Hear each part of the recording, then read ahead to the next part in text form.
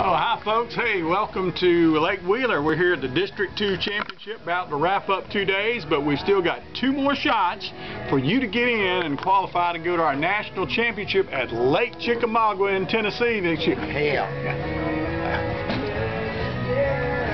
Yeah, yeah, yeah, yeah. We'll, get it in a minute.